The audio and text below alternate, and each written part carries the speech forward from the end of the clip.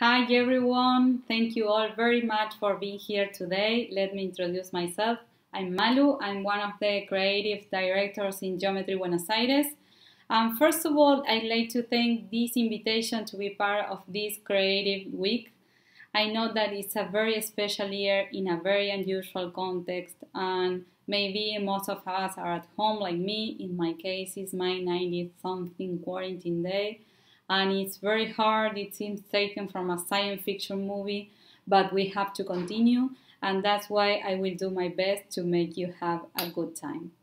So, today I like to talk about the most beautiful ugly brief, and maybe are you asking why? And I could be here and show you the most creative arts of the world to, to motivate you, and maybe it works for some of you but uh, I think that many of you, after this talk, uh, could think that creative world is nothing to do with my with my job or with my daily work or with me, and that is exactly what I don't want to happen. So let's start. Well, from the beginning in advertising, we dream about working on the perfect brief.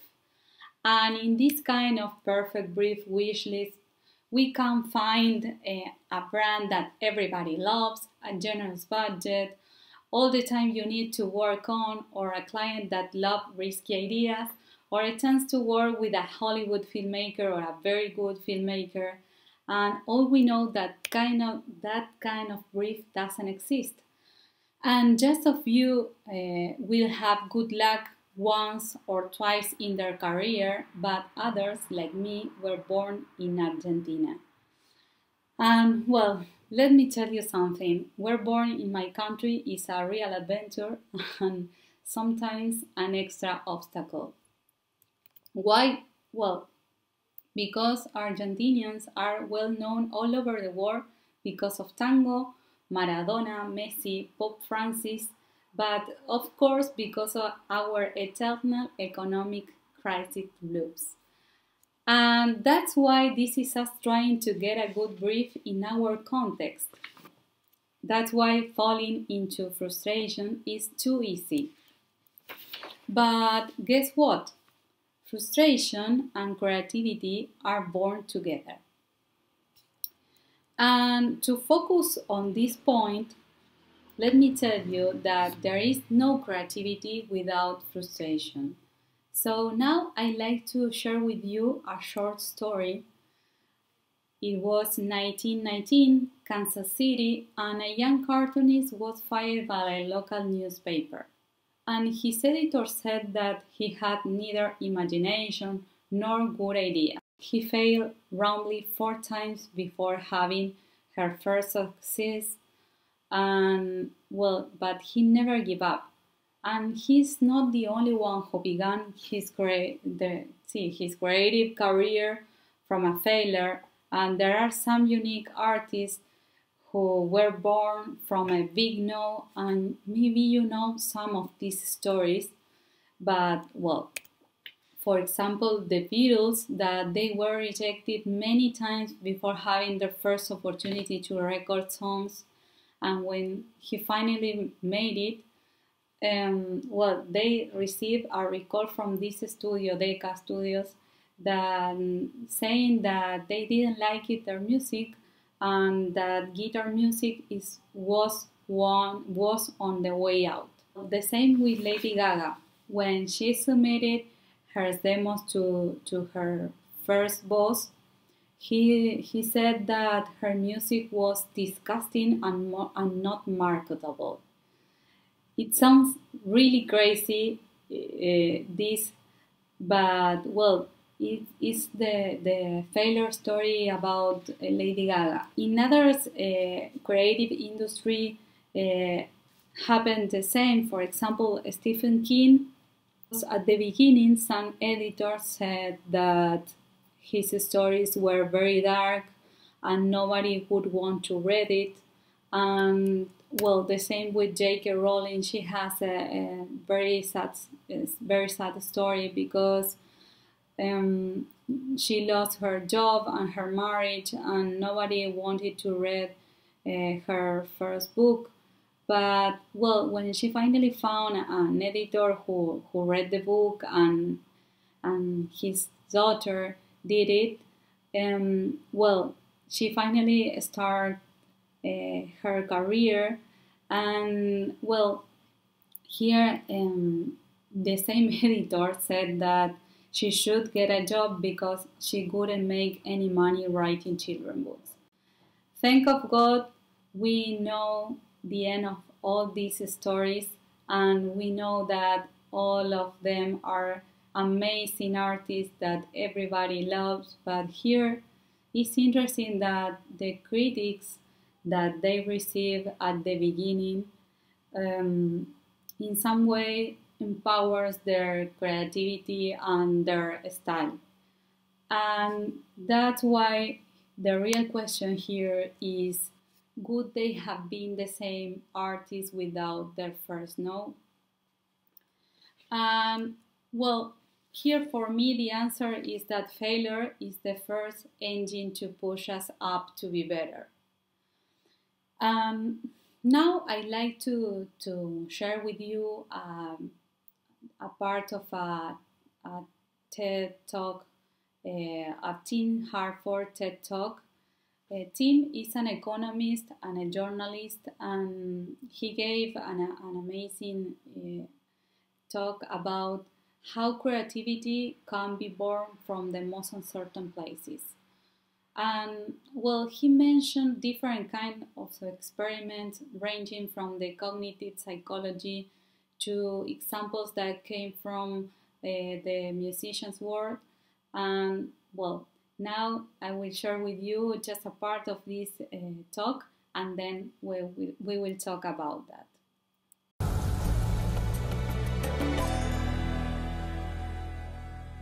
I want to talk about somebody from the background of the world of rock and roll. And you may know him. He's actually a TEDster. His name is Brian Eno. He is an ambient composer, rather brilliant. He's also a kind of catalyst behind some of the great rock and roll albums of the last 40 years. So he's worked with David Bowie on Heroes, he worked with U2. And what does he do to make these great rock bands better? Well, he makes a mess. He disrupts their creative processes. And one of the ways in which he creates this disruption is through this uh, remarkable deck of cards. I have my signed copy here. Thank you, Brian. They're called the oblique strategies. He developed them with a friend of his. And when they're stuck in the studio, Brian Eno will reach for one of the cards. He'll, he'll draw one at random and um, he'll make the band follow the instructions on the card. So this one, ah, change instrument roles. Yeah, everyone swap instruments. Drummer on the piano. Brilliant, brilliant idea. Look closely at the most embarrassing details, amplify them. Make a sudden, destructive, unpredictable action, incorporate. These cards are disruptive. Now, they've proved their worth in album after album. The musicians hate them. so, uh, Phil Collins was playing drums on an early Brian Eno album. He got so frustrated, he started throwing beer cans across the studio. Um, Carlos Alomar, great rock guitarist, working with Eno on David Bowie's Lodger album. And at one point, he turns to Brian and says, Brian, this experiment is stupid. But the thing is, it, was a pretty good album, but also Carlos Alomar, 35 years later, now uses the oblique strategies. And he tells his students to use the oblique strategies because he's realized something. Just because you don't like it doesn't mean it isn't helping you. This guy talked about how um, these musicians were more creative when they found um, an obstacle or when they felt uncomfortable during the creative process. And here is very interesting because I think that it's interesting for us and our daily work because all the time we are facing obstacles and uh, different kind or unpredictable um, things that appears when we were working eh, in, when we are in the middle of the this creative process. That's why I think that frustration empowers creativity and uh, in any creative industry as well as ours. And now I like to move on my daily work and I like to share with you a creative brief story. What I want to share with you is my best ugly brief. And I say that is my best because I had a lot of ugly brief during my career, and but this one was the best and it was generate a summer activation for Volkswagen Amarok in the beach. And it doesn't sound uh, very interesting, and it wasn't. Um, the brief was becoming better and better word after word, and I like to say that we had like an unwanted list of uh, in this brief. For example, uh, we had almost zero budget. It was our third year receiving exactly the same brief. A client who wanted to show how cool his brand looked in summer, and we had to show branding, branding, branding. That, in other words, in that context, means sun umbrellas and branding caps. And well, we felt like this. And yes, I know that you know what I am talking about because this feeling is very common during our creative uh, process or our creative days. And well, here the, the, the most important is how do you answer to this kind of frustrating brief. And this one was our answer.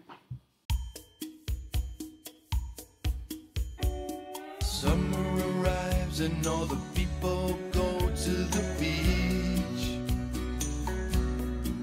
And behind them, the brands, especially those of cars, fighting to get their attention by doing the same things.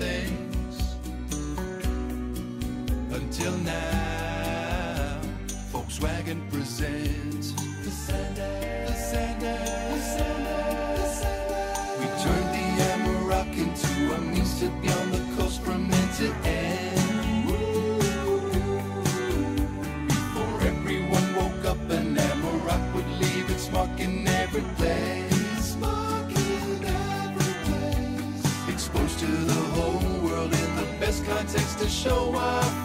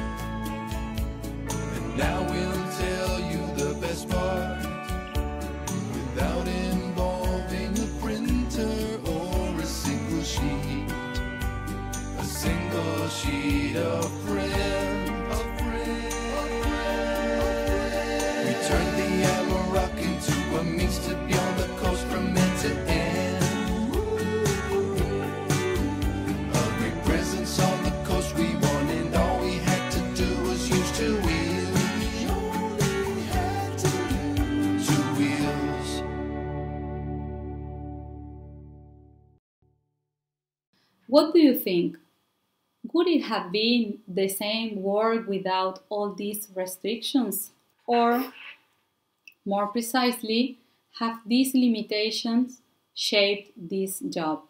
Well, I think that it's more the second one, and I think that these limitations shape this project. Now I'd like to share with you the creative process and the way to produce this this idea with almost a zero budget. So let me tell you the story. We had two wheels literally.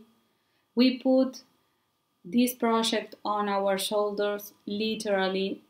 We didn't have any backup. We only had an Amarok, an Amarok.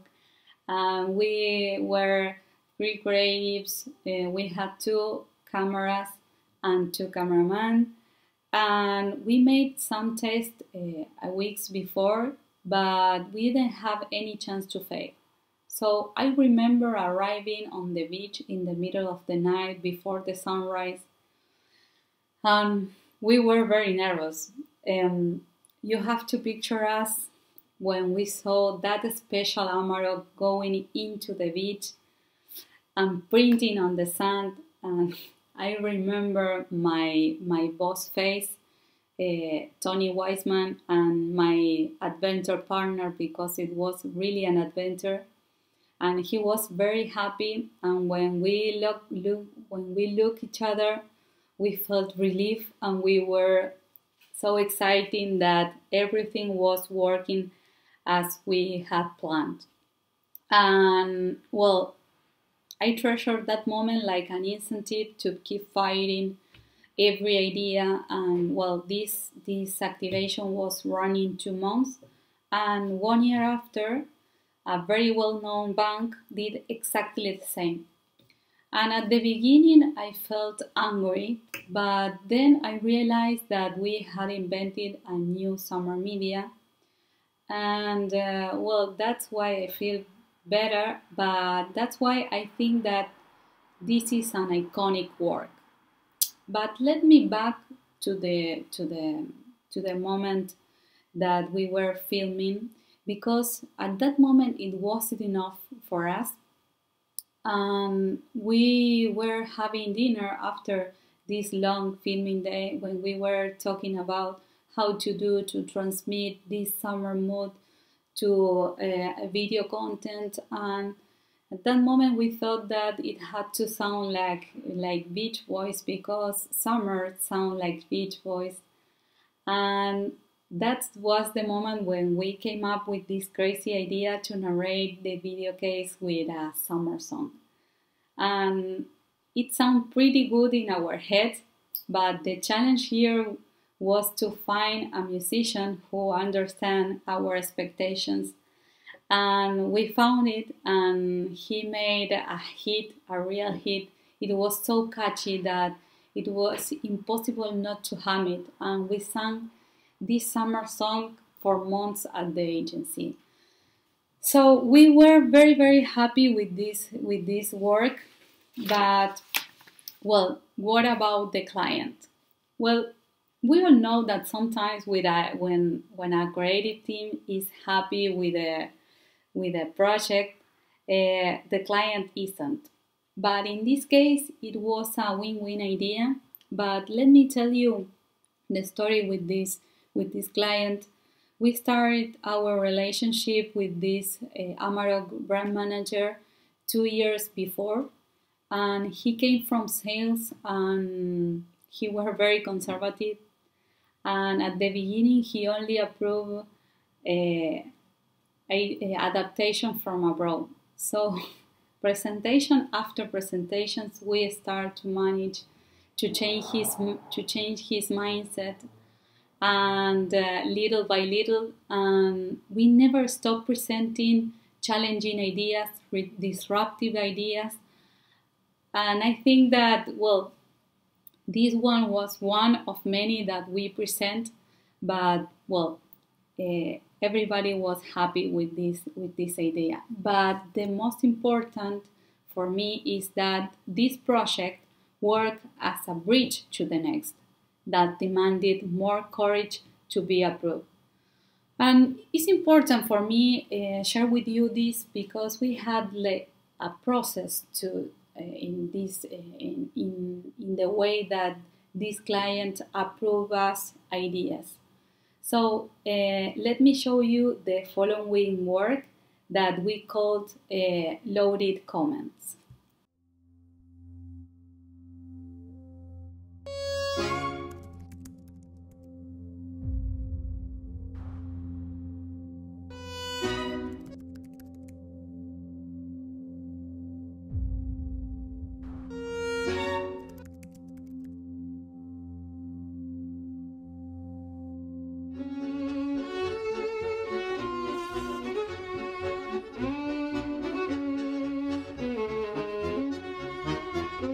Soy usuario. Eh, vinimos a conocer un poco los límites que tiene la Amarok. Mucho comentario malo. Otras camionetas con motores más potentes. Está armada con, los, con, los, con las rueditas para que no se vuelque. Bueno, Mejor amigo tiene una t cabina simple 2012 que pobrecita da lástima. Después cada uno elige su camino, ¿qué querés?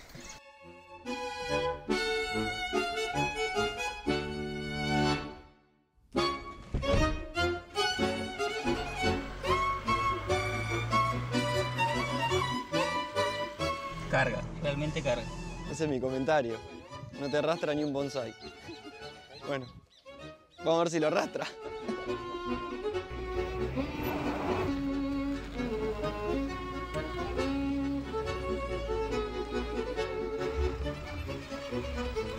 Ya una prefectura. La Amarok va a pasar un charco.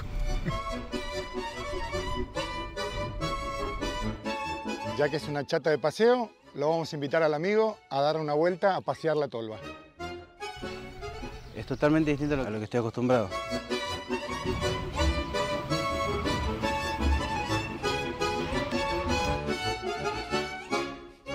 Y ahora entramos en duda.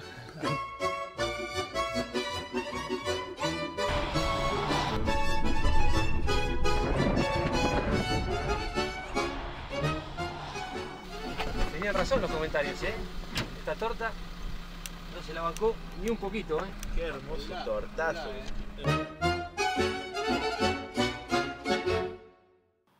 Well, this is not a Cannes Lion idea, but it's a very nice daily idea.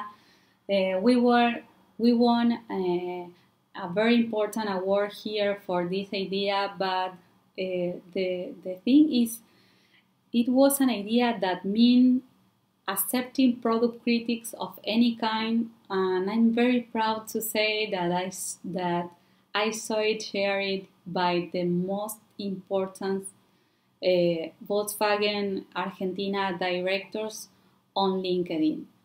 So that is an extra award for me, and we have been fighting for this idea since 2016, but and we made it in 2019.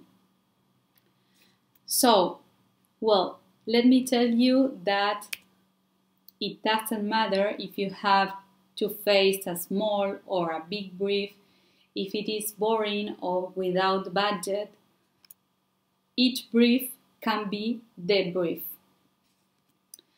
And well, talking about perseverance, to wait three years to produce an idea, I think that there is something in our Latin DNA that encouraging us not to give up and try to find a way out we are stubborn and we feel a big passion for what we do that push us to do things.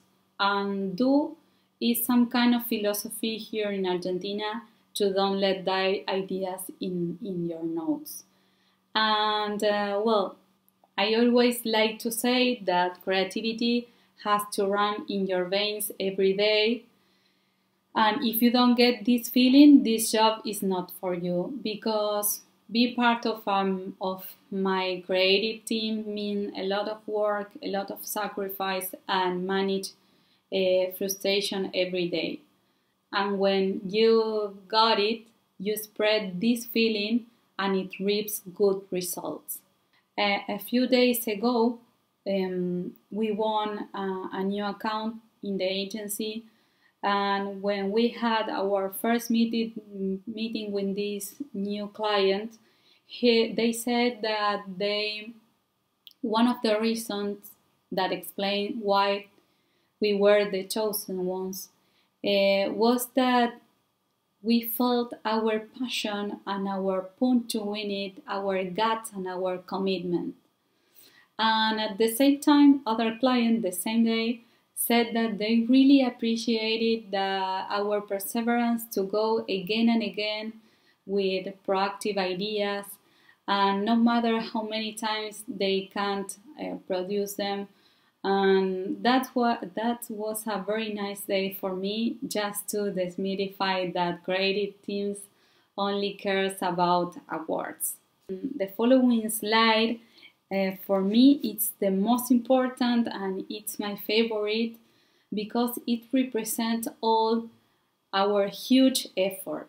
Um, this is just a part of uh, our last year and a half, and I'm very, very proud of every single work that you can see here because it was a huge, a huge effort um, produce them, but we made it, and we can see more more ideas on this board uh, and less in our in our notes.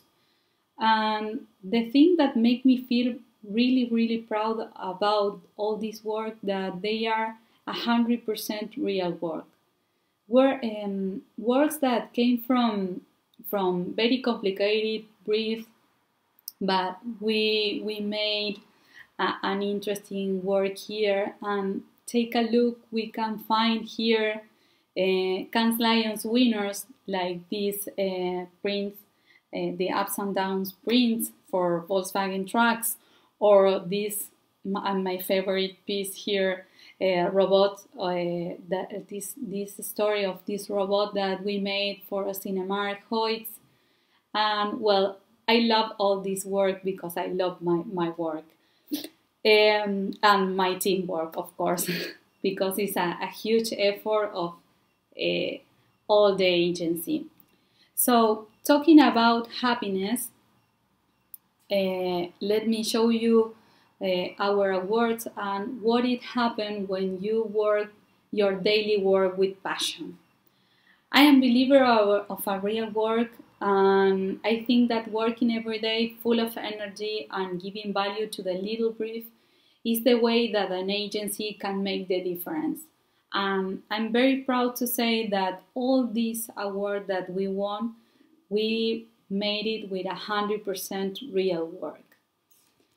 And before saying goodbye, right now, maybe it's possible that you are receiving a brief that make you feel uncomfortable, bored, limited by resources, or if you feel pressure by deadlines or it is the same day brief of every year or the 15 presentation you make, well, maybe what you feel about that brief is the best kick to come up with a great idea.